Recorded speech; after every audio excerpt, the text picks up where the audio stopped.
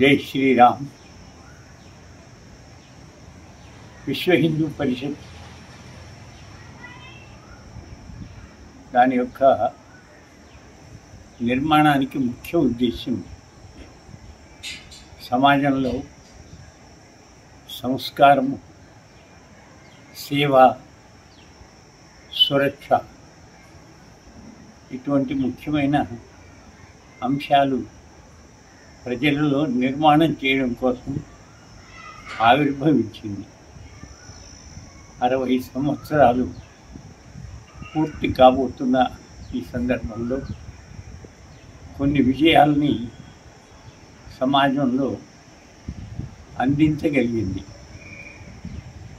బహుశా ఈ పాటికే అందరికీ పరిచయం అయ్యుండాలి. ప్రయాగలో కుంభమేళ పంతొమ్మిది వందల అరవై ఆరులో స్థాపించడం. దీంతో పాటుగా అనేక దేశాల్లో విశ్వ హిందూ సమ్మేళనాలు నిర్వహించడం. దేశంలో లక్షలాది సత్సంగాలను సృష్టించి సంస్కారవంతులను తయారు చేయడం.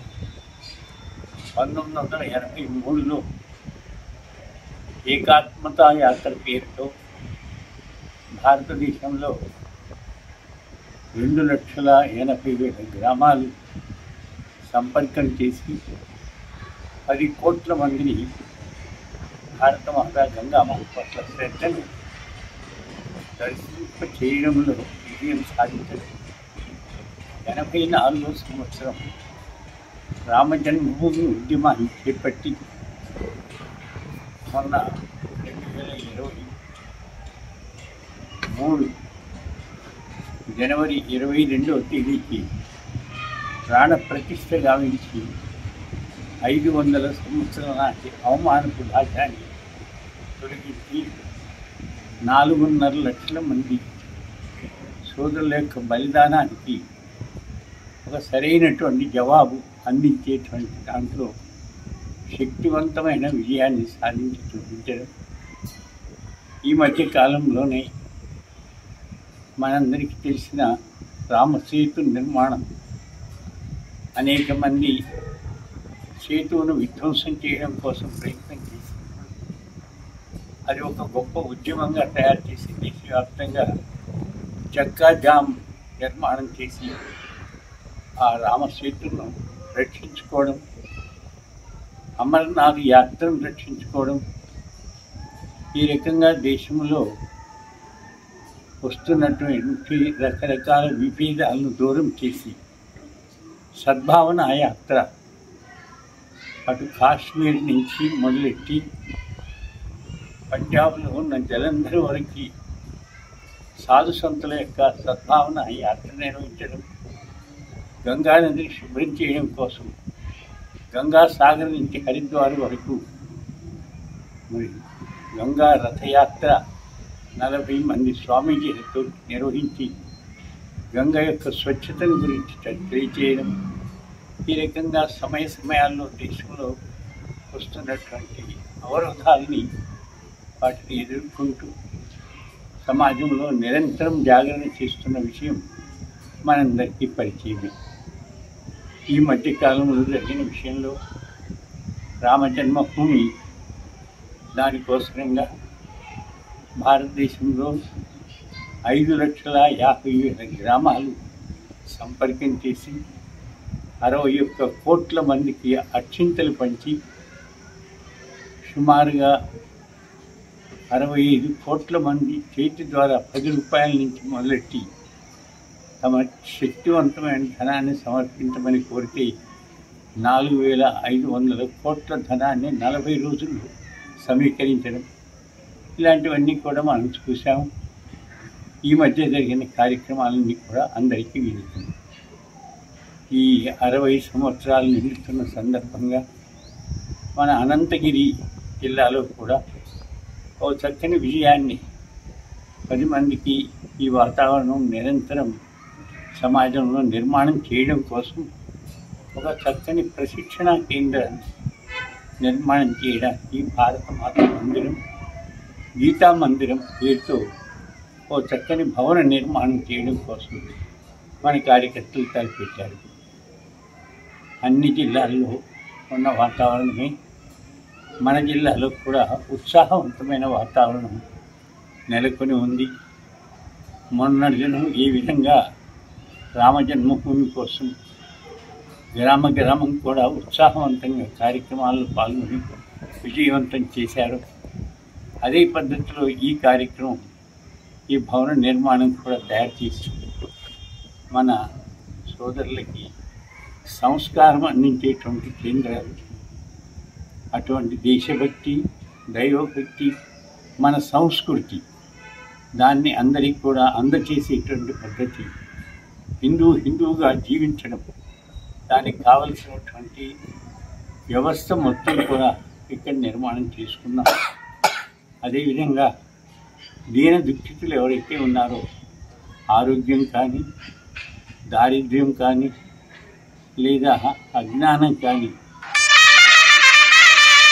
దారిద్ర్యం కారణంగా అమ్ముడిపోయేటువంటి స్థితి కాకుండా వాళ్ళందరూ కూడా ఆత్మనిర్భర పద్ధతిలో వాళ్ళందరూ కూడా స్వయంగా శక్తివంతుల్ని స్వావలంబులుగా తయారు చేసే వ్యవస్థను కూడా రూపొందించడం.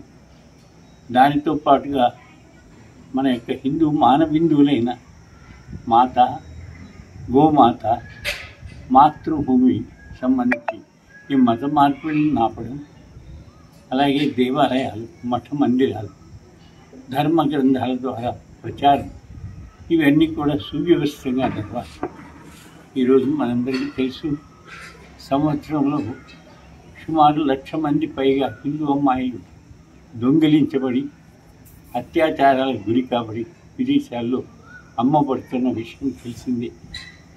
అలాగే ఒక్క రోజుకి లక్ష పైగా గోవులు చంపబడి మాంసం విదేశాలకు ఎగుమతి అవుతున్న విషయం తెలిసిందే.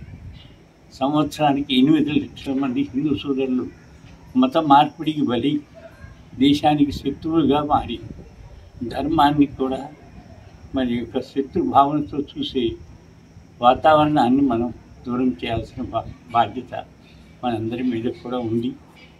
అదేవిధంగా మన యొక్క దేవాలయాలు మనకు సామాజిక కేంద్రాలు వాటిని రక్షించుకోవాలి. ఆశ్రమాలు అవన్నీ కూడా మనకు మార్గదర్శక కేంద్రాలు. వాటిని కూడా రక్షించుకోవాలి. అటువంటి రక్షించుకోవాలి అనేటువంటి స్థాయిలో సమర్థవంతమైన వ్యక్తుల నిర్మాణం జరిగినప్పుడే వీటన్నిటికి కూడా రక్షణ అనేది సాధ్యమవుతుంది.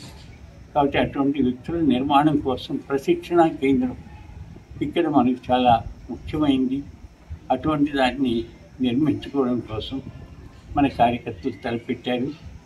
ఈ అరవయో సంవత్సరం ఒక జ్ఞాపికగా మన జీవితంలో గుర్తింపుగా ఉండేటువంటి ఒక గొప్ప అవకాశం ఇక్కడ ఉంది.